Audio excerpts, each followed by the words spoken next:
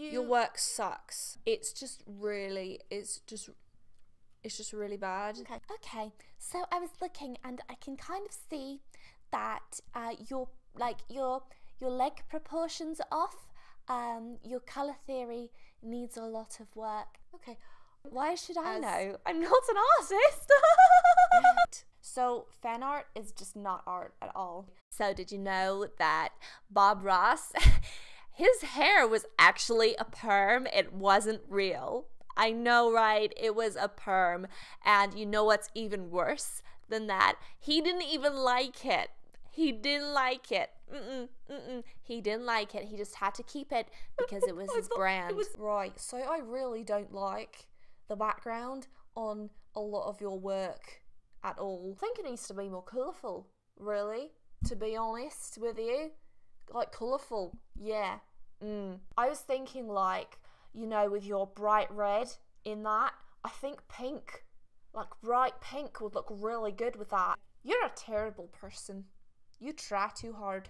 I just I don't like you at all. You're just terrible, terrible, despicable, evil person. I just don't like you at all. I hate you. So I automatically hate your art as well. That's my dad. Take it from someone, dear, that has a lot more experience in life, okay? And and everything in general. You will not get anywhere with your work. You need to get a serious job that's going to pay you. You need to get a real, proper job, not just a silly hobby, okay? How dare you! I really like your work, but everyone go subscribe to me. Everyone subscribe to my channel because I do this stuff too, but better than you.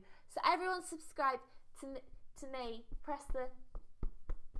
Disgusting! I don't like your work because it all looks the same, um, and you keep putting the color orange in your work, and that actually offends me a lot.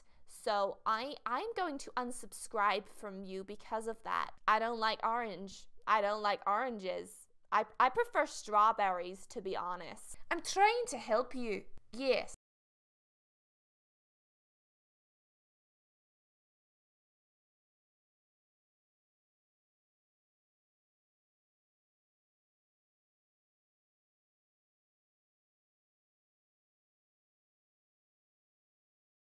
Hello.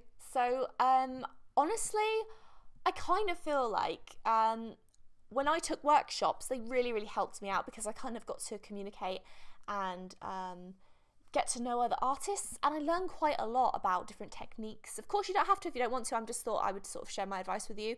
Um, workshops can be great. Uh, learning anatomy. Of one particular book that I really, really liked. I'll pass along the information to you. Um, but yeah, I think you're doing really well. I just think if you want to improve on certain aspects, definitely give that a try.